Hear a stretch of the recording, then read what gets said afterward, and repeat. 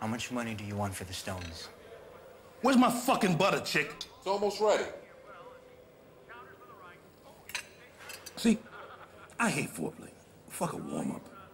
A bitch gotta be ready to come in off the bench and score some points. Just take the rock to the motherfucking hoop strong. You dig? Instead of us doing this back and forth shit, my idea is you come up with a number. Very high number. See, I'm about a number so high. And when I hear it, it just, it just gets me off. Then bam! Bust a nut. Roll over, go to sleep. You like that? Yeah, I like that.